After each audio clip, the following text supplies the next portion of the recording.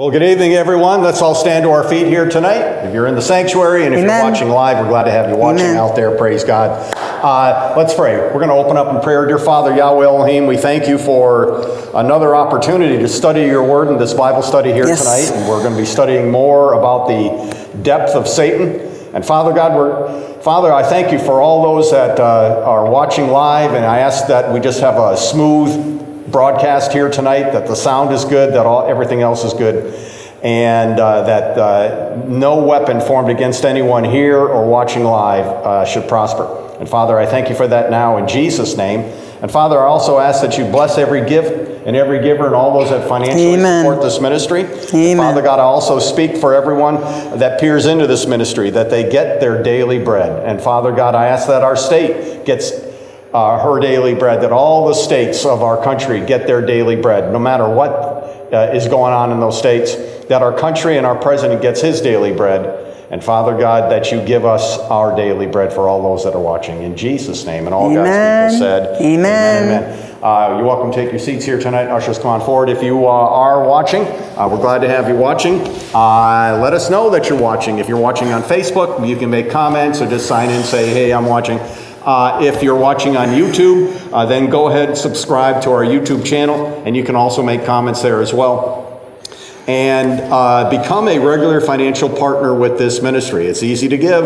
Uh, just use our our mobile app on your telephone. If you don't have the mobile app yet on your cell phone, then go to our website, mountainfaith.org, and download our mobile app. It's free of charge, and all kinds of exciting things. Daily devos, uh, ways to contact me directly, and also you can watch us live off of there, and then watch us all of our produced YouTube videos on there, particularly the most recent ones.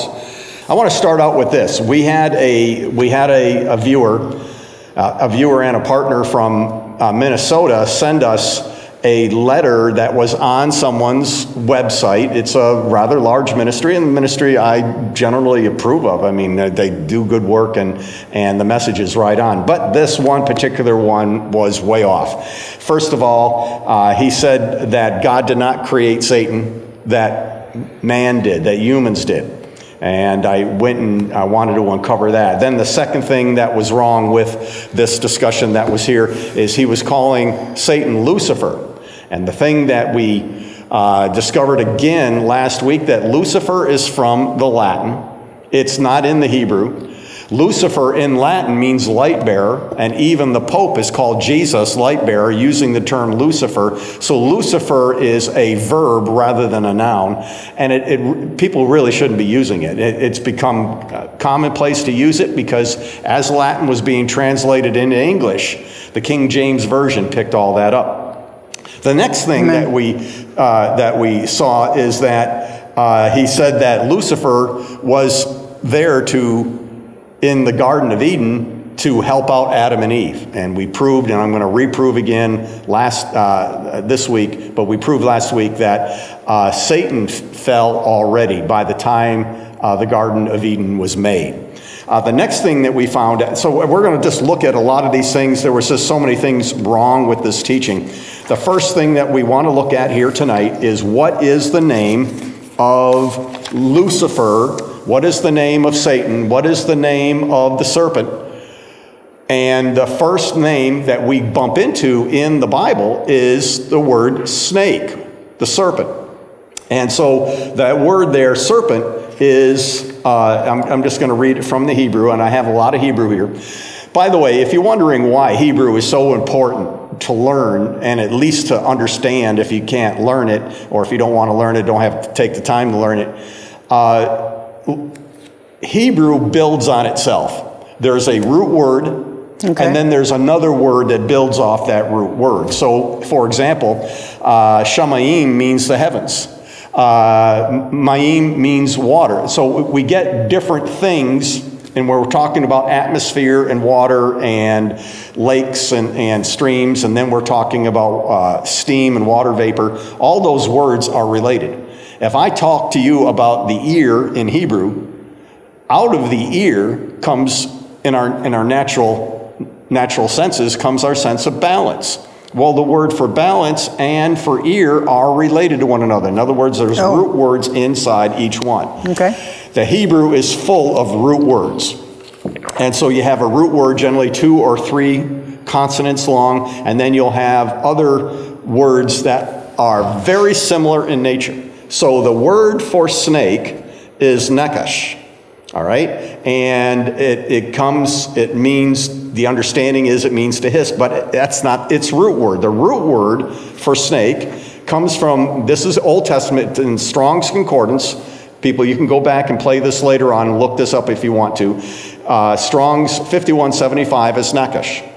But Strong's 5172 is also nakash, and it's the prime root or the primitive root, and it means this to whisper a magic spell to prognosticate. and I had to look that up to make sure I under, actually uh, understood what it meant. And we're going to come back to that. So once we have the first introduction of Satan is as a serpent, and it Right. means a snake to hiss. So by that time, he was an already fallen being. He was not there to help Adam and Eve. That's right. The next time that we, we see him, we have to go look at this. Let's go over to Isaiah chapter 14, Isaiah 14. And we're going to review because I went through a lot of this information really fast last week. And we'll do a shortened version of it. Isaiah uh, 14, and Kathy, read verse, just verse 12 for me, please. How you have fallen from heaven, O star of the morning, son of the dawn. You have been cut down to the earth, you who have weakened the nations. Now, it's interesting that what's being said there is not star of the morning at all. The word star is not there. The word morning, which is a rev in Hebrew, is not there. Uh, and if you're reading from a King James, it's going to say Lucifer. It's the only time that Lucifer appears in most Bibles. And Lucifer is not there in the original Hebrew. Like I just said, Lucifer came from, the word came from an action verb in the Latin, which means light bearer or light carrier. And it could be used just about for anything. So, but it- it's been tradition that we've used that term to describe him, but that's not the term. And star of the morning is not there. And so when we go up and look at what the word is that is there, the word that is there in the Hebrew is hale- halel. Now, halel is a word that has a root word, and the root word of halel is halal. That root word is all over the Old Testament, and that root word halal means to praise. So when we go to Psalm 150, for example, and we look at the Hebrew in Psalm 150, it opens up with this root word mm-hmm. halal. It says halal yah, hallelujah, in the Hebrew. And so it says to praise Yah, and Yah is God's personal name. Right. It's his, his formal name is Yahweh. His personal poetic name is Yah, Y A H. And so hallelujah. And of course, the Yah is a yud and a hey. Just it's just that simple. A yud and a hey describes God. And, and that same meaning, Yah, also means to exist and to be. So God exists. God says, I am that I am. So when we praise him and say hallelujah, and even if you don't know what it means, you're in you're speaking Hebrew. And Right. people people are making fun of someone and go, Hallelujah, my groceries finally showed up, or Right. Hallelujah, the gas man is here, or you know, Mm-hmm. Hallelujah, you, you know, the, the supper turned out right this time. Well, Right. you're using terminology that actually praises God. This is the interesting thing. The word in the Hebrew where it says star of the morning, like in my Bible here, it says star of the morning, but that's not actually there. It doesn't say star of the morning, son of the dawn. It says halal. And hal- halal is means praise. Okay. So isn't it interesting that Satan's original name is also his work? It's what he's supposed to do. And let me, let me for those who have never heard me teach on the po- uh, poetic nature of Hebrew, when Noah was named, God named, uh, excuse me, his father uh, Lamech named him Noach, for there shall be Noach in his days, or rest in his days. So, in that same sentence in the Hebrew, when Noah is born and, and, and he's being named, it says Noach twice. And I showed it, I think, either last Sunday or the previous Sunday on the overhead as I was teaching about the flood story. When it comes to Solomon, there was a, uh, there was a prophetic thing uh, concerning Solomon. I shall, I shall name him Shlomo, for he shall have shalom in his days. Both of those words are not just related, that's- they're spelt nearly identical. And so uh, shalom is more of a root word for Shlomo. And, and so I'm going to name him peace, for he shall have peace in his days. I'm going to name him rest, for he shall have rest in his days.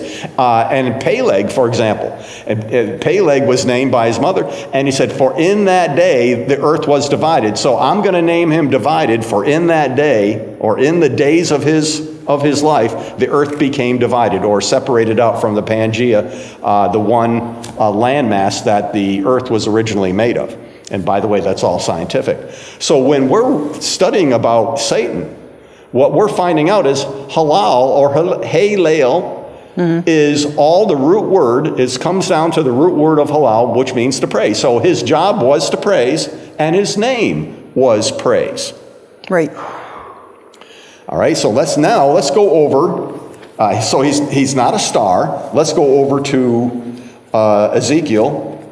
Kathy, start out in verse 13. Ezekiel 28. Oh, well, let's go back to verse 5 first. Let's let, look at verse 5. By your great wisdom, by your trade, you have increased your riches, and your heart is lifted up because of your riches. Now, we spent a lot of time on this last week, so that's why you have to go back and look at it. But that word trade there uh, is really a commodity, and you have it written in your Bible. What do you have written in your Bible there? Is it written on that one? No, it's Written on a further one?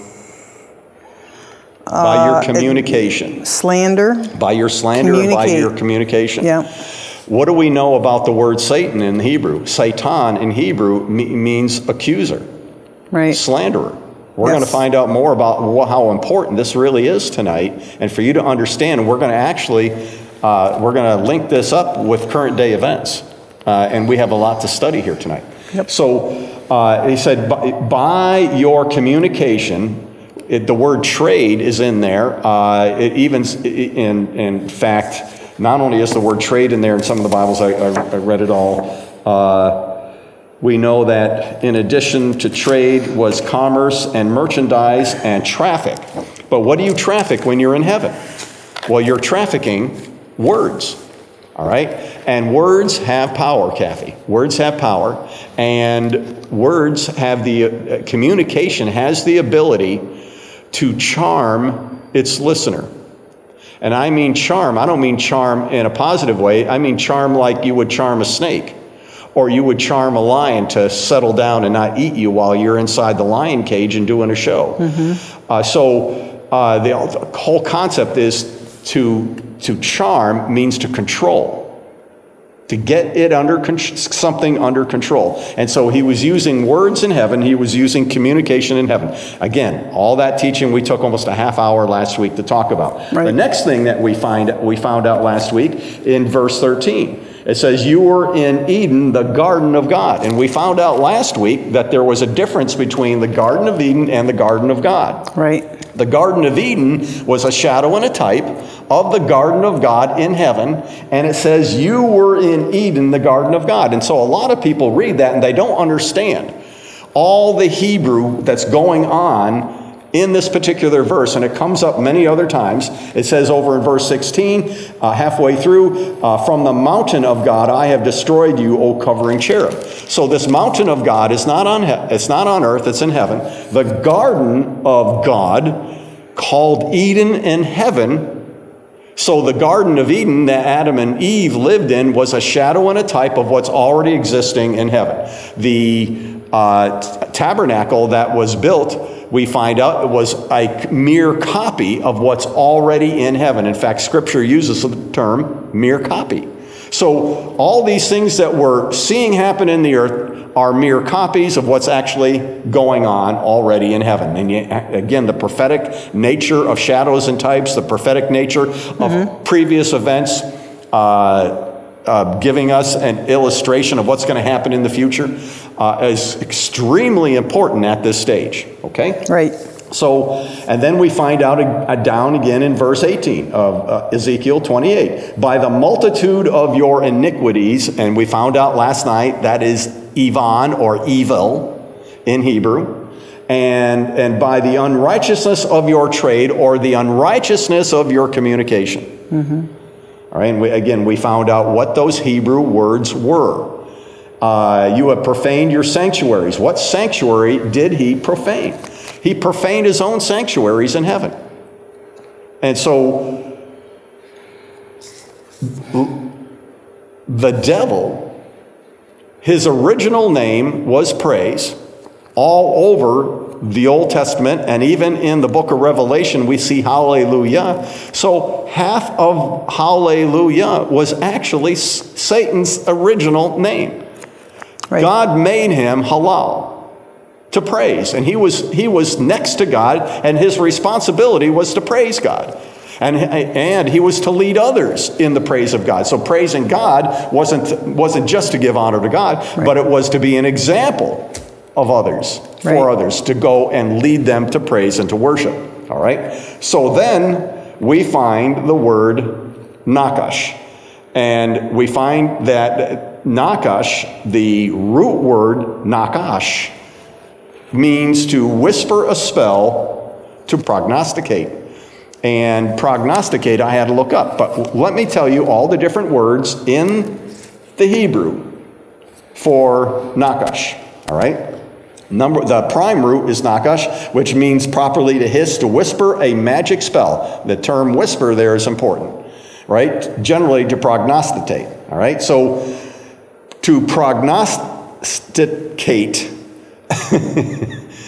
uh, means to uh, plant a thought or plant um, an image in the mind of someone. Is planting an image in Eve's mind in the garden and said, You surely will not die, for God, God uh, knows that the day that you eat of it, you'll know good and evil. And, and he's trying to get her to. So he's planting a thought, he's charming her mind to be turned against her. So one of the primary duties of our of Satan as he is currently is to charm your mind to twist information Right. and to get control of your mind and we're going to see this in other scriptures that have nothing to do directly with this then the another word uh, and, you- and you know how to read hebrew you can see all these words in the hebrew are spelt identical and the, the, the sound sounds very similar the next one is uh, Strong's number 5173, and it, it is Nakash, and it means an incantation or an augury, and it means an enchantment. All right, and then so what do we find out from this? We find out that his name means uh, as a serpent. So he's being called a serpent the, for the first time in Genesis, and we find out that he is to whisper a magic spell. He is to prognosticate, and prognosticate. I had to go and look up, right? Because it's just there's just all kinds of things going on. And prognosticate, which comes from the Greek, it means foretelling. Right, so it's where you get the term pro- prognosis from. But it was this this this one etymology uh, said it comes from the Greek, but it originally came from the Latin into the Greek. So it didn't go from Greek to Latin, it went from Latin to Greek. First appeared in English in the 15th century. Since that time, prognosticate has been connected with things that give omens or warnings of events to come, and with people who can prophesy or predict future by such signs. So, what does Satan do? I, I've taught this many times. What is a nightmare of, of a future event? It's merely a false prophecy put into Right. your mind about someone dying, about someone getting hurt, about you getting hurt, Right. about a future event that hasn't come to pass. But it's a false prophecy, it's not true. He's a whisperer, so he whispers into people's heads, into people's ears. Right, right. All right. So Shakespeare used the uh, the prophecy sense of prognosticate in the sonnet that begins, "Not far from the stars do I my judgment pluck from thy eyes, my knowledge I derive, and constant stars and such I I weave in art." And I'm just reading this, and with, and to thee I prognosticate. All right. So that's in Shakespeare. So he, he's using it in the suggestion that when you tell a word to someone, you can prophesy the future of that person. Satan is a liar mm-hmm. and the father of lies. So, what is he going to do? Jesus said he comes only to steal, kill, and destroy. He does that by prognosticating images into your mind of something that's not, not true, not right, or something that's going to take you down. Okay, now, then we had to look up uh, the word that, that was here to whisper, and it's lakash, and it means to mumble as a charm, as a whisperer. So even the term whisper in the Old Testament is nearly identical to this term. And look at this now. This is lakash, and Kathy, uh, your, our audience can't see this, but lakash is spelled almost, look at that, we got a, look at this. We've got these two letters here ending with a shin, just like nakash. Right. So nakash and lakash are spelled nearly identical. They sound different and they're, they have completely different Old Testament numbers, but lakash means to whisper by implication, to mumble a spell as a, as a magician, a charm, a whisperer. Then the other root word to this is by implication a private prayer in a bad sense, an incantation, an amulet. It means charmed, erring, enchantment, orator, and prayer. But it doesn't mean good prayer, it means bad prayer. Right. Okay? And so then I take it one step further. Then I find out there's another word in Hebrew, all related to serpent, nakash. And this one is kashav, kashav which again has these two letters here. Right, I'm not going to explain it every single time, but, but you can read it. And it means to uh, in, uh, impenetrate, literally to weave, to fabricate, Oh, that's good. Hmm? to plot or contrive, usually in a malicious sense, hence from the mental effort to think in regard to value, to compute, to fabricate, to plot, or contrive in a, in a negative sense. So all these words for serpent that's being used for Satan are, have everything to do with magic, have everything to do with fabrications, have everything to do with false information. Right, right. So God gave him that name. He said, You're a fabricator. You are someone that's whispering. And the first time, not the first time, but one of the times that we find out about the use of this is in the Psalms. And I want to go over there. I'm going to turn you there real quick. Uh, Kathy, go with me to Psalm 41. Psalm 41 and verse 7. Psalm 41 and verse 7. All who hate me whisper together against me. Against me they devise my hurt, saying, A wicked thing is poured out upon him, that when he lies down, he will not rise up again. How about, has any one of you been ever attacked by someone with words? Yep, we all Hello? We all have, right? And some of those attacks can be pretty bad. Yep. You Sure think can. about this. I know for a fact that there was a study done when you and I were in high school. And I read the study over and over again, and I know more recent studies have been done. But they did a study uh, for teachers. They were studying teachers, and teachers that were getting kids from a previous grade. The, the, so you taking the fifth grade and they were moving into the sixth grade, and the teachers were falsely told who the outstanding students were in the fifth grade. Oh, yeah, I remember. And the that. teachers believed the report. So, guess who they treated better? Guess who they coached better? The students that they were told were the excellent A students from the fifth grade. And these are sixth grade teachers. So, what's happening, it, and the study went on, they take the worst students in the class from the fifth grade and tell the teacher, and they outperformed everyone because the teacher gave them attention. And then the students that were not the worst, but were the best, were just given ordinary view, reviews to the teacher. And so, but the, the, teacher got the low performers from the previous grade to be the highest performers because the thought was placed in their mind. Right. There was another there was another study that we've seen even more recently, although when I say recently, like 20 years ago, that if you tell people throughout the day, and I learned this in my sales classes, if you tell people throughout the day that they look sick, that they don't look like they're feeling good, by noontime they won't be feeling good. Just tell them that they don't look like they're feeling good. And they'll start to go, you know, I, I was kind of feeling something. And they start, you know, touching their body and they start talking about all of it. And what they're doing is that you're actually making someone a hypochondriac with your words. You can do that. It's been going on.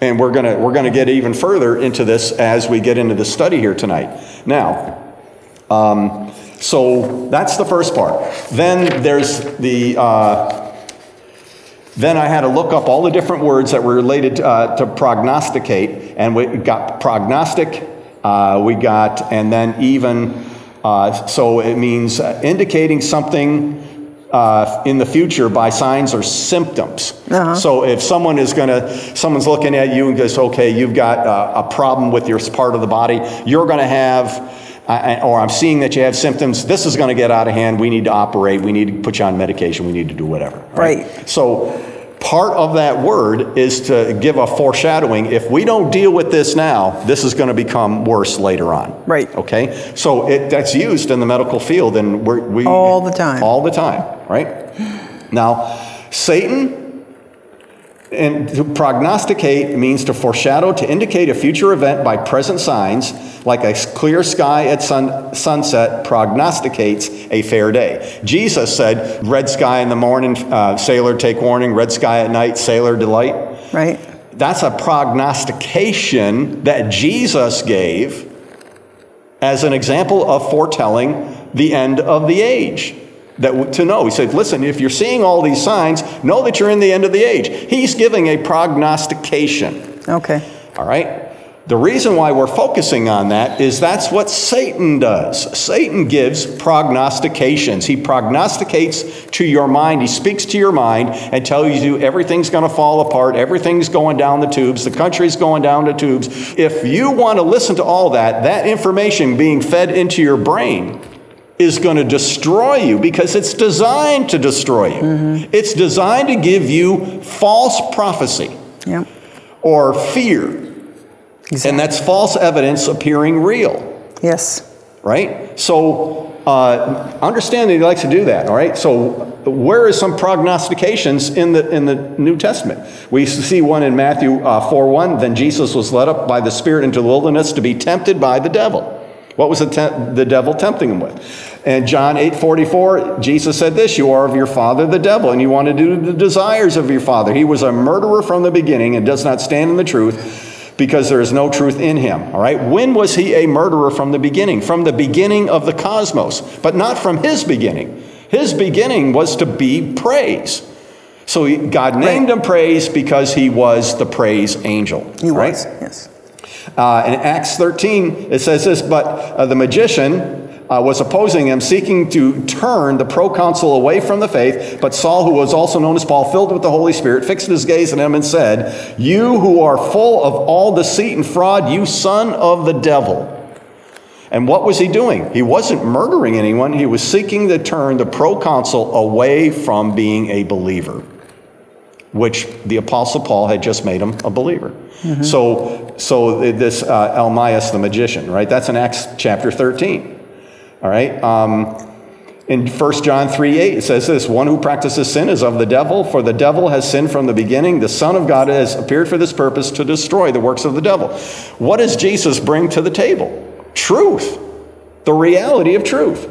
Uh, so, and then it says, many, in, in 2 John 7, it says this many deceivers have gone out into the world, those who do not acknowledge Jesus Christ as coming in the flesh. This is the deceiver and the Antichrist. And now watch this. Uh, Revelation 12 9, and the great dragon was thrown down, the serpent of old, who's called the devil and Satan, who deceives the whole world. He was thrown down to the earth. So Satan deceives the whole world, and many people are willing to be deceived.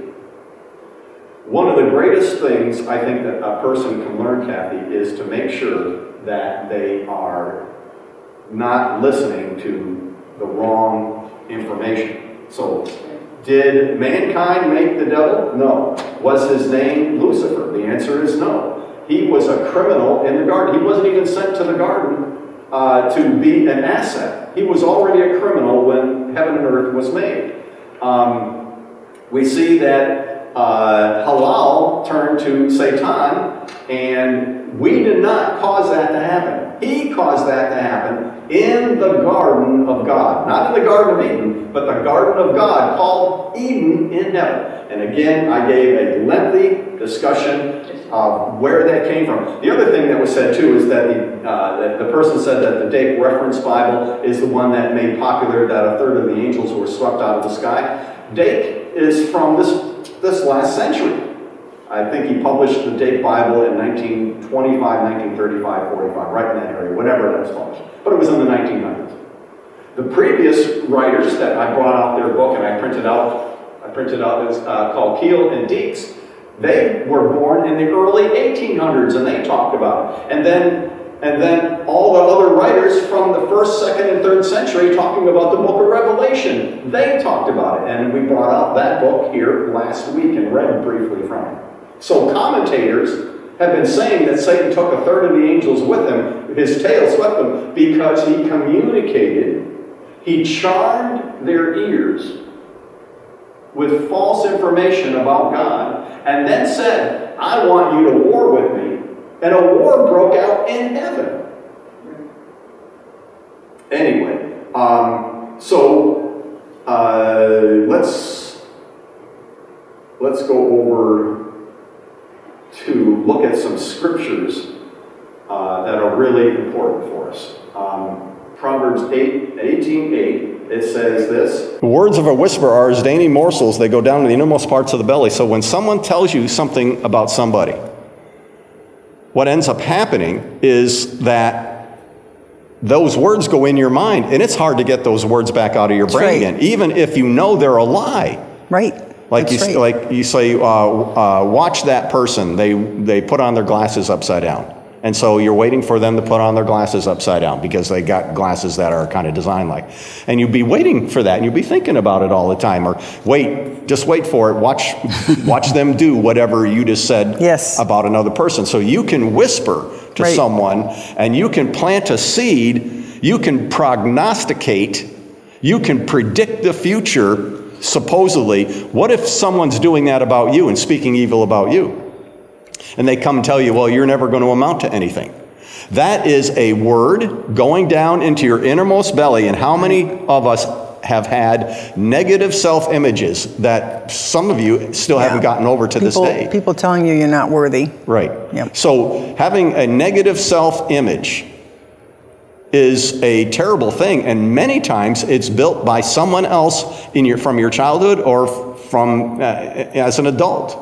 And having and you can build a negative self image very quickly uh, if you get around the wrong information or the wrong wrong people. I know people that keep on going back to the same types of people, uh, and they they wonder why their self image isn't improving. The reason why the self image is not improving is because you're hanging around the wrong people, you're listening to the wrong things. right. You are actually allowing your future to be prophesied because your brain is not able to withstand negative prophecies concerning you.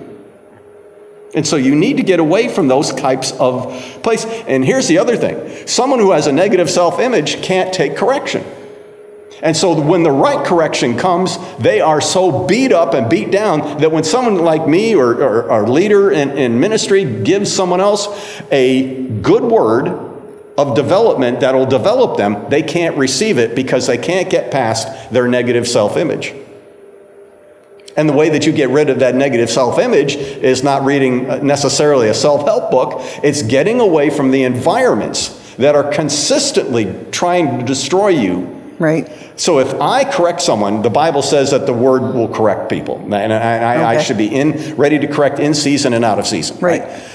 But there are a lot of people that are just not correctable because their self image is so poor. And the self image is poor because they've been hanging around the wrong people, or maybe they grew up around the wrong people and they've never gotten that. They've never let the Word of God cleanse their hearts of that negative self image. That's right. Now, it says over in verse 21 death and life are in the power of the tongue, and those who love it will eat of its fruit. Oh, so if true. words have power, they have power of death and they have power of life. Again, verse 21 the death and life are in the power of the tongue, and those who love it will eat of its fruit. It's your responsibility to make sure your words concerning yourself and your growth in Christ and your, you know, your ability to uh, be a good mother, be a good father, be a good wife or a good husband, be a good employee, be a good servant of God is you can't walk around putting yourself down all the time.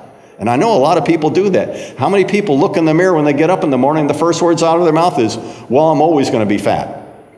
Death and life are in the power of the tongue, and what you are doing is prognosticating to yourself. You're prophesying to yourself. And the human mind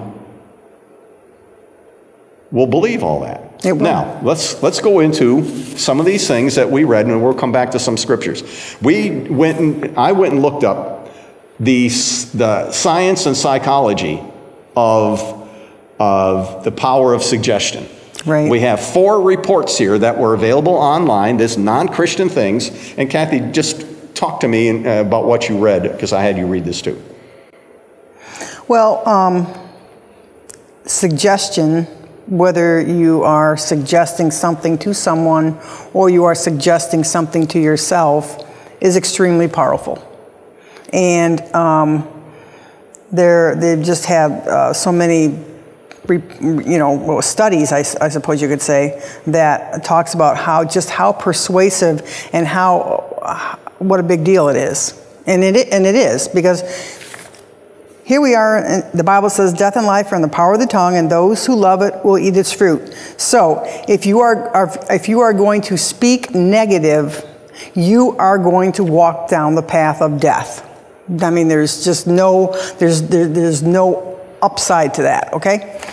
And if you walk down uh, the power of uh, talking about life and talking positive, then th- that's total upside and you're going to be blessed. I mean, it's just, God has put it, it's either one or the other. It's, it's not a two way road. If you take this left or you take the right. I mean, Right. But anyway, um, So it- the power of suggestion. So if I suggest to you, or I suggest to someone, hey, you're not looking good at 8 a.m. in the morning. Then I hit them at 8:30. Then I hit them again at 9 o'clock. By noontime, that power of suggestion can actually make them feel sick. Mm-hmm. Right. How do we how do we relate this to, to modern day? By the way, we've had we we did so I did so much research on this. You were busy reading a lot of this research before earlier today. Uh, how about the power of suggestion of a placebo? Uh, we just saw a program, you and I just saw a program that we've seen before about placebos being handed out in a hospital. And the placebo worked. Right. It actually lowered the pain threshold for people that were taking because they were Right. told they were taking pain pills. Right. And you could say the same thing, I think, about vitamins, because there are, as we know, there are all kinds of ranges of vitamins out there. Uh, from where people will say this vitamin here is, is so well made, it's, it's, it's $100. This vitamin here is, is 50, this vitamin here is 25, this vitamin over here is 5. And whatever it is that that individual takes for a vitamin, they're taking it because they want to see a change in their body. They want to see something change in their body. So it, it, it doesn't really, to me, oof, all right. So the vitamin is going to say, okay, I'm going to take a vitamin to help my heart, to lower my blood pressure. There's different vitamins you take. Then there's a vitamin for um, uh, your joints, make your joints better.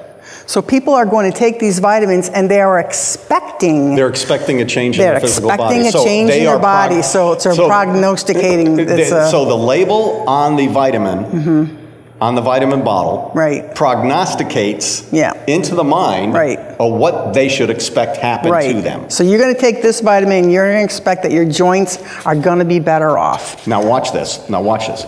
So, someone that's studying for an exam and they're in college. Okay. Okay, and they're studying for an exam, but they don't want the exam to be on Friday the 13th Mm-hmm. because they think they're going to perform badly because it's a day. So we've got Friday mm-hmm. and we got Friday and it's the 13th of the month. So they tell the teacher, I can't take a test on that day. The teacher says, This is the only day you can take it. they normally would have gotten an A if they had waited till the following week mm-hmm. or t- took it on that Thursday. But because they're taking it on that day and the warfare that somehow Friday and 13 are evil, because they hear it all the time, Right. Right. they perform poorly and they don't get an A, they don't get a B, they, they barely get a C. And so the whole concept of the, the planting of images in a person's mind is absolutely critical, and Satan knows that. And he's planting, he's prognosticating images into your mind all the time that uh, something's going to happen bad to you. This is why many times you just can't talk. You shouldn't be talking about anything at all. Um, how about uh, not only placebos? So how about uh, someone that feels like they uh, they have like a lucky rubber band or a rabbit's foot or something like that. And if they have that, or a St. Christopher's medal, right? As you know, I remember my parents gave me a couple St. Christopher's medal. I grew up Catholic and said, well, you should carry this on you all the time. And I forgot what it was supposed to do, but whatever. So, but people that are deeply Catholic and really believe in that, they, they can't they can't lose their St. Christopher's medal or whatever other medal that they get that is working in their brain as a charm.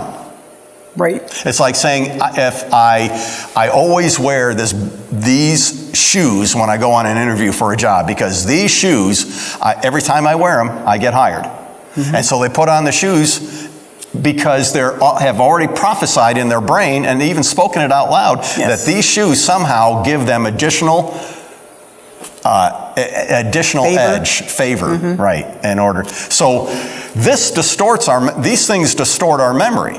So you can have a distortion of memory for good. If I tell you all the time, and I do, if I tell you all the time that your your mind is increasing, you're you're getting smarter, then going, your mind is going to increase and you're going to get smarter. The Bible tells us that over, I think it's in the book of Isaiah, that uh, uh, when we get old, if we read the scripture repeatedly, that, that in our old age we shall be full of sap and very green to declare that Yahweh is upright. He is my rock and there is no unrighteousness in him. So I'm reading that scripture over and over and over again.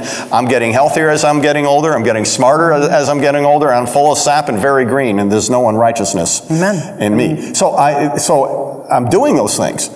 But let's let's look at something that happened in the book of Galatians. Let's go over to Galatians chapter 3, verse 1. Start in verse 1. You foolish Galatians, who has bewitched you, before whose eyes Jesus Christ was publicly portrayed as crucified? In other words, who has charmed you away from the truth? That's right. Who put thoughts in your head to take you away? Now keep reading. Understanding that Satan is behind all these things, legalism, which is what he's referring to here. Right. Keep going. This is the only thing I want to find out from you. Did you receive the Spirit by the works of the law or by hearing with faith? Are you so foolish, having begun by the Spirit, are you now being perfected by the flesh? Did you suffer so many things in vain, if indeed it was in vain? So then, does he who provides you with the Spirit and works miracles among you do it by the works of the law or by hearing with faith? In other words, um, they were turning back to a sense of the law, and they shouldn't have been doing that. Right. And so, uh, so what was happening to them? They were losing their original faith, and someone Right. was putting thoughts into their head that was changing the memory of how they got Right. To where they needed to Yep, be. more legalism. Um, more legalism. Uh, let's go over to. Um, let's go over to Isaiah chapter 29, or back up to the Old Testament to Isaiah chapter 29. Uh, read for me verse 4. Then you will be brought low. From the earth you will speak, and from the dust where you are prostrate, your words will come. Your voice will also be like that of a spirit from the ground, and your speech will whisper from the dust. All right, so your words will come. And the word will there is put in at the privilege of the translators, but it says that your words basically are what you're saying now are prophesying what's about to happen to you. Yes. And so that's what's being said there. And your voice will also be like that from a spirit from the ground, and your speech will whisper, or your speech uh, is that, that same term, that uh, lakash, it- your speech Right. will lie to you. Yes. So lakash, nakash, nakash is serpent, lakash is whisper. Yes. And so that this, this, or, and, and it means to charm yourself. So your own words can lie to you. Well, how, well, how does that how does that deal with anything that we've been dealing with right now? Um, when I heard a preacher say this decades ago, he said that uh, when one of his children got sick, he refused to even look at his child. He Right. prayed for him to be healed, but he refused to look at him until the wife said, "He's healthy. He's whole." And so I started practicing that to a certain extent with our children. Our children were young, and our children would just have, you know, just things would happen. Kids are kids. But with eight kids, it just seems like, my goodness, I had to be careful with my words. You do, yes. And, and I couldn't say, our kids are sick all the time. I couldn't say something like Right. that because those words would prognosticate It would. my future. I would be Right. prophesying negatively my future. Right? Right, Death and life are in the power of the tongue, and those that love it shall eat of its fruit. So if you're not feeling well, you don't go around blabbing all your symptoms. You don't do that. If not if you want to be healed. Right. You want to be better. Which what you know, and, and people don't understand this. A majority of the people don't understand this, but if you're not feeling well and someone goes and they look at you and obviously something isn't right, you know, and they say, Well, are you feeling okay? And my answer is, Yes, I'm fine. I'm fine. And I was once at the doctor's office, and I was uh, I was pregnant. It was a it was a checkup, and um, I was tired. It was the end of the day. I had several kids, and uh, he goes, "How you doing?" I go, "I'm doing great." He goes, "Come on now." He said, "You would say that no matter how you felt, wouldn't you?" And I go, "Absolutely." because I don't want to talk about any kind of symptoms. I can't. I was actually practicing something that I learned just recently that I, I hadn't realized I was practicing it. So Wednesday, uh, we have Bible study at 7 p.m. We have worship practice at 5:30, and I'm and I'm in worship practice, and then I work the day before that, right? So it's it seems to be a long day. And so I started saying, oh man, this is a long day. I'm tired. And I got tired. And I finally, something snapped upstairs like, hello, you're cursing yourself, you know? And so I stopped saying that and I, and I have more energy. But when you say things like that, yeah, it's just a long day and I'm, you know, eight o'clock is when we're done. And oh my gosh, it's just, I'm tired. It's a long day whatever you say is is what you're going to get. So, right, you're, So- you're prognosticating. I did. Your I- you own, I your own yeah, that's livelihood, right, right? that's right. Y- y- they- Yeah, so- um, I uh, know that there is a lot. There are a lot of people out there that put online. You couldn't do this 25 years ago, but now people talk about how they're feeling for the day. you know, how you feeling? I don't know. And, and they're putting this stuff out on the internet, on Facebook mm-hmm. and Twitter and other things. And, and I look at that and I go, why are Christians, good Christian people, talking about their health online for other? The only thing that's going to happen is either people are going to feel sorry for you, and, and, and, and, and feeling sorry for you will keep you where you're at. Or people will actually add to your own to your own prognosis and go, well, you know, you could have. And what Right. are people saying now? So Right. I, I walked into a store Yeah. about a month ago and I just like that, just a little. And the person behind me said, said, Are you okay? Are you sick? Why? Because everyone in the media is telling everyone that if you get around anyone with sniffles, they must have COVID, and the next thing you know, you're going to die. Mm-hmm. So, what happens to people now if they genuinely get COVID? Genuinely, I mean, really come up with the test and they're they're over 60.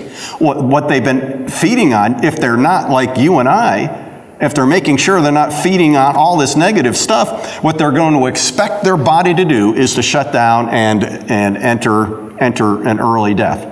because that's what they've been hearing. Their mind is going to go to work and their body is going to follow. Right. All right. But on the other hand, people like you and me, we, you know, bring it on. We, we don't care. We're not, we're not going anywhere. We're not going to die. And, you know, and, and we're not going to get sick. But see, it has to be the words of our lips first in order to have that, that, that prognostication come out well. Yes. We have to, and then you can't even talk under your breath. That means you can't whisper to no, yourself. No, you can't. No. And you know, this is supposed to be a, just a, uh, a study of, of, Satan, but I, I have bumped into so many, so many people in the past month that normally under normal conditions, they would be fine. Mm-hmm. But the media has got their brains bent around, and this is the Satan behind it. It is. Satan is completely behind all this stuff. People are running around in fear, and yet and yet, what, what the media should be doing or could be doing, and instead they've chosen the route of, of um, speaking death. That's what they've chosen. Mm-hmm. Uh, you know, it bleeds, it leads. Mm-hmm. But what I have been battling with, and, and when people are talking to me about COVID and that, I tell people, I said, but I realize COVID uh, can, can affect some people very strongly. But the recovery rate is 99.6%. That is the recovery rate. Why don't we focus on the recovery rate? Why don't we focus on the 99.6%? Right. And this is and, and this is a, a, a yes, it's it, it's uh, it's a it's a cold, a flu, it's a virus, but we, we, we do not live in a sterile environment. Nobody does. And so um, I, I know that most Christians don't get the teaching of uh, watching what you say and speaking those things that are that not are, that are not as though right, they were right right right that's what you have to do you have mm-hmm. to speak those things that are not as though they were right. and that is faith right. and so a lot of people that are con- con- considered to be christians don't follow that rule of thumb they don't have not at all you know I, I bumped into many christians over the years kathy that have good christian speak but they have they've came they've come from backgrounds with with with poor teaching in that regard. Or no teaching. Or no teaching. But, exactly. But you know, they know their Bible. Uh, mm-hmm. They they're good people. Uh, they're not. They're definitely going to make it to heaven, but they have no idea what they're doing to themselves. Um, let's uh, let's look at a couple scriptures in, in the New Testament here, and uh, we'll close it. Uh, let's go over to uh, chapter four. Mark chapter four. Mark chapter 4 okay. and verse 24.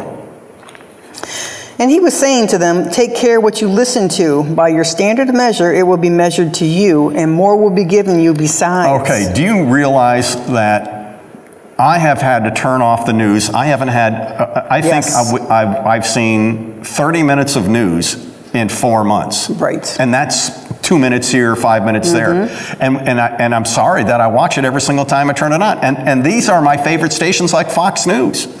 Right. Now, I know that there's other podcasts out there, and I don't have time for all that. I mean, I'm not going to be spending a lot of time watching the news anyway.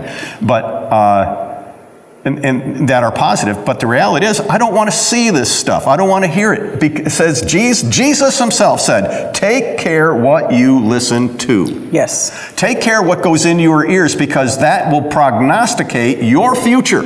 Yes. Take care what you listen to from friends. Don't go to people for advice on, on COVID, but don't go to other people for advice on your marriage when they don't have a good one. Don't go to them for advice on a, finding a husband if they've been divorced three times. They don't even know how to lose them, not find them. Don't go to people that are not winning in a particular area. You don't go to a non Christian for Christian advice. No, no. You don't go to another Christian that's always negative about what's going to happen to the world in the next six months. Right. You don't go to a doomsday uh, prepper uh, for ad- advice on how to have a happy life because those guys are miserable. They're buying cans of food and hoping that they're dragging them out to the woods at night so their neighbors don't see. So, um, it, everything that is your brain is feeding on right now is going to determine how happy you are tomorrow morning. That's right. And you know, and I, I wish, you know, you can't shake people to understand this. The only thing that can change people, if if someone would just read this scripture a hundred times between now and tomorrow noon, their attitude would change. But it's not just one scripture. And then he says, Whoever has, to more shall be given. So, in other words, the more you have of negative going into your brain, the more you're going to believe it. In fact, you will think I'm the one who's insane, and you're the one who's Right. sane. Right. And yet, I'm the one reading Scripture, and I can tell you for a fact, my wife and I are the ones that are following Scripture in regard to what we hear, to what we let into our eye gate, into our ear gate, and to what we speak out of our mouth. That's right. So if I have a negative thing that I want to think about, I'll tell Kathy asked me, why aren't you talking? Because the only thing that'll come out of my mouth right now will be a prognostication Yes. against myself. I never said that before Right. today, but because I just looked up the word today. But that's the way it works. It, it does. Okay, now let's go over to. Um,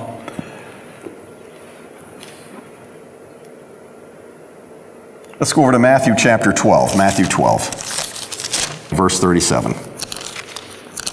For by your words you will be justified, and by your words you will be condemned. All right, so Absolutely. yeah. So your words are going to condemn you, but your words aren't just condemning you in heaven. Your words are condemning your life Right here now. on the earth. Right now. Back up to one last scripture. Let's look at um, well, go over to um, Mark 11. Mark 11. Mark 11, 23. Truly I say to you, whoever says to this mountain, "Be taken up and cast into the sea," and does not doubt in his heart, but believes that what he says is going to happen, it will be granted him. Amen.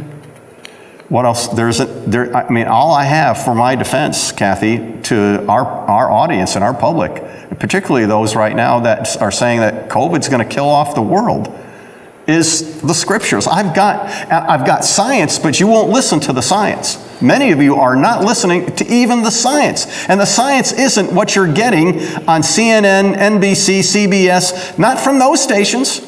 Right. You're not getting any truth or any science. Nope. And all you have to do is go online like I do to see the real science. Amen. And the real science is out there. But you got to take you got to strip away all the headers, you got to strip away all the junk and just look at the facts. Amen. But people think you and I are oddballs. And you know what? 12 spies came back out of the land of Canaan Yes. and reported to uh, the people. And only two spies had a, gave a good report Joshua and Caleb. You know what happened to the other 10 spies? They died. They did. God took them out because they were given a, they were given a negative Yep. He waited for them to die, Prognostication. and then he moved everybody into the promised land. Right. It's powerful if we control our tongue, but we also have to control what's going in to our brain and going into the environments around us. Amen. Let's all stand to our feet and we're going to close it in prayer. Father, we give you glory and honor and praise. Father God, we ask that you uh, change the hearts of all those that are here and all those Yes, that are Lord. listening and watching this in the future. And Father, I thank you for that right now and that the enemy is not able to steal any part of this message from them in Jesus' mighty name. Amen. So, Kathy, let's look in the camera and say, This is Pastor Dave and Kathy saying, Pressing to God. and he'll press into you, and we'll see you again here this Sunday at, the, mountain.